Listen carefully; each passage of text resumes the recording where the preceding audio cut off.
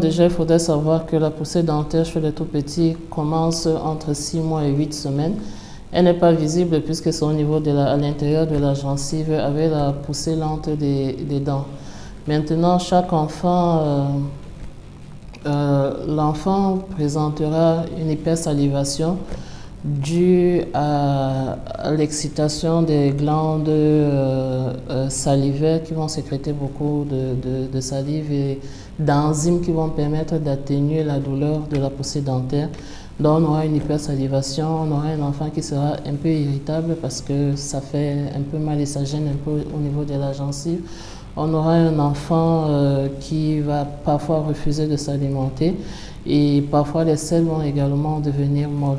Et dans des rares cas, on peut avoir la, la, fièvre. Il y en a qui sont précoces, qui à 3 mois, 4 mois, vont, vous, vous, allez voir les dents déjà, les deux incisives qui seront déjà là, et d'autres seront un peu plus tardifs, peut-être vont attendre 6 mois, ils vont attendre 9 mois. On conseille beaucoup plus de venir d'abord à l'hôpital et qu'on confirme effectivement que c'est une poussée dentaire, parce qu'en dehors d'une poussée dentaire avec ces signes, on peut avoir d'autres maladies, des virus et euh, des infections bactériennes et autres.